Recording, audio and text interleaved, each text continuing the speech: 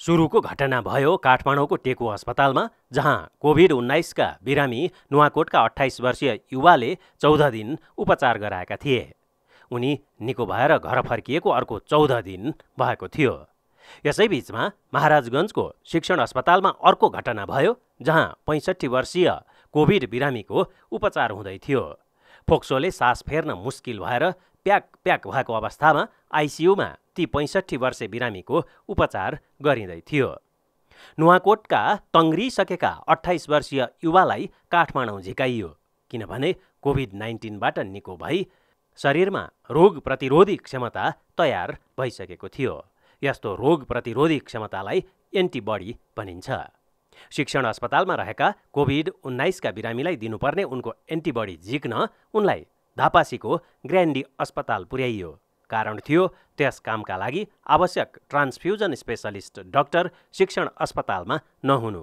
ग्रान्डीमा उनको रगत निकालियो र रगतको कोशिकाको भाग हटाएर पानी भाग छुट्याइयो।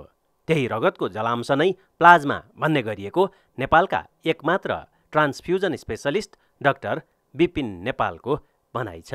कोभिड निको भइसकेको पेसेन्टको चौध दिनपछि सिम्टम्स भएको चौध दिनपछि पेसेन्ट डोनरलाई बोलायो।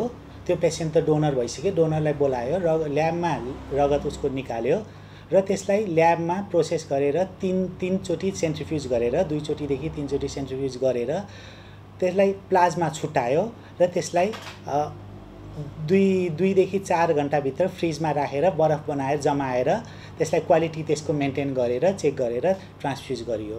एन्टिबडीबाट प्लाज्मा बनाएर उपचार गराउने अनुसन्धानको नेतृत्व नेपाल स्वास्थ्य अनुसन्धान परिषदले गरिरहेको छ।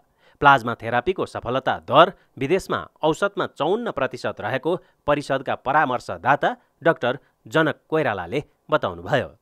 एन्टिबडी प्रयोग गरी गरिएको पहिलो उपचार नै सफल भएकोले भविष्य उत्साहजनक हुन सक्ने डाक्टर कोइरालाको विश्वास छ। पहिला निको भएर गइसकेको बिरामीहरूको प्लाज्मा निकालेर उपचार गर्यो भने त्यस्तो बिरामीहरूको चाहिँ इम्प्रुभमेन्ट हुन्छ भन्ने हिसाबले जुन रिसर्च भइरहेछ त्यसै अन्तर्गतमा उहाँलाई कोभिड प्लाज्मा दियो। त्यो प्लाज्मा दिएपछि उहाँको चाहिँ धेरै नै high oxygen sixty litre per minute oxygen पाइरहेको मान्छेलाई चौबिस घन्टामै उहाँको चाहिँ अक्सिजन रिक्वायरमेन्ट घटेर दुई तिन लिटर मात्रै हुन गयो।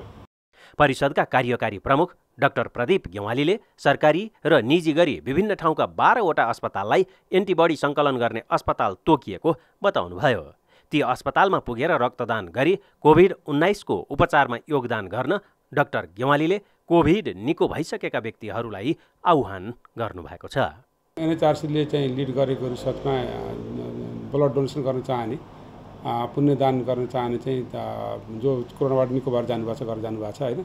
उहाँहरूको चाहिँ सक्रियतामा उहाँले दिँदाखेरि र सिरियस बिरामीले पाउने र एउटा एक किसिमको जीवनदान दिएर जीवन बचाउने एक किसिमको पद्धतिमा यहाँहरूले सहयोग गर्नुहुन्छ भन्ने खालको एनएचआरसी अपेक्षा गर्दछ। विभिन्न अस्पताल र प्रयोगशालाहरूको सहकार्यमा प्लाज्मा पद्धतिबारे अनुसन्धान जारी रहेको परिषदले जनाएको छ। क्यामेराम्यान कुमार शर्मा र राजेन्द्र राज तिमिल सिन्हा नेपाल टेलिभिजन काठमाडौँ।